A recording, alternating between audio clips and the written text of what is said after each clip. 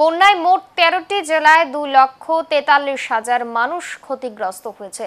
ভেসে গিয়েছে ঘরবাড়ি, রাস্তাঘাট, সেতু। প্রায় আট হাজার পাঁচশো বিরানব্বই হেক্টর চাষের জমি জলের নিচে চলে গিয়েছে। অসমে বন্যা পরিস্থিতি ক্রমশ স্বাভাবিক হয়েছে। এখনও প্লাবিত রয়েছে অসমের সাতটি জেলা। বনভাসী লক্ষাধিক মানুষ।